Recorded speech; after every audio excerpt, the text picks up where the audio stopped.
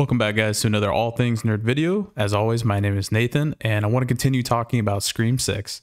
Now, if you have watched the trailer and you come to this official Scream 6 trailer and you skip to about 1 minute and 58 seconds, you'll see here what I have on the screen. Is there's an interesting scene going on here, and I want to talk about this for a minute because if you notice, Sam is holding a gun and she's pointing the gun at obviously somebody. It could be the killer, it could be her having hallucinations of Billy and she's going crazy. It could be someone who's backstabbed her. Uh, no pun intended.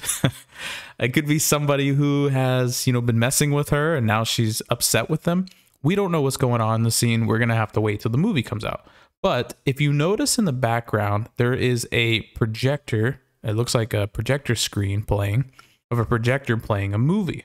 Now, you can tell this is very reminiscent of Scream 3 when Roman was playing the projector um, scene for Sidney, right? When she came into the room and he was going through the story and all that, her mom and all that, blah, blah, blah. Okay, anyways.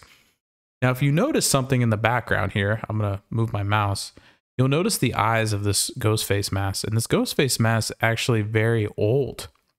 It looks to be like one of the original masks um, that the killer's wore in Scream 1, right? Now, I'm curious to see if this mask is actually, or this movie belongs to no other than Billy and Stu. Because the reason I say that is because I wonder if there's more in the shrine or the archive that we're not seeing yet. There was actually a, a, a official uh, official Twitter post from viewer Anon, and I'll actually put it up here on the screen for you guys.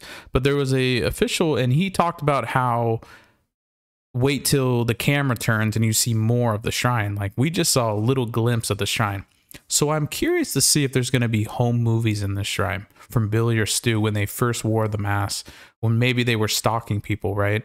Remember in Scream 1 when Sidney was talking to uh, Tatum and they were sitting at Tatum's house and you could see the ghost face in the bush, right? And then he also, Ghostface followed uh, Tatum and Sidney to the supermarket. So I wonder if this is going to be home videos of Billy and Stu wearing the ghost face mask. You know, this is going to be really interesting to see because we've never seen anything like that. I know a lot of people have been really asking for the, excuse me, for the tape that um, Gail put in the house at Stu's house. Remember when she hid the camcorder by the TV and then the TV fell on Stu?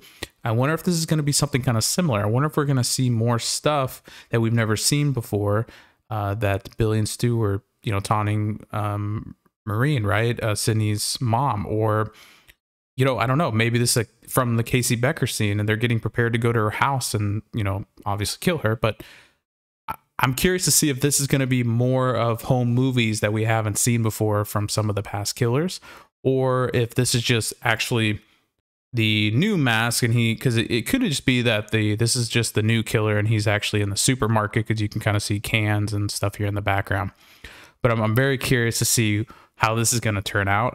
I, as i said before i'm very excited for this movie. I can't wait to pre-order my tickets and go watch it on march 10th it's going to be a fun exciting time um, but yeah i want to hear from you guys what do you guys think is going on in this scene and what do you think's playing inside the background we don't know what it is, and we're gonna have to find out when uh, Scream Six launches on uh, March 10th.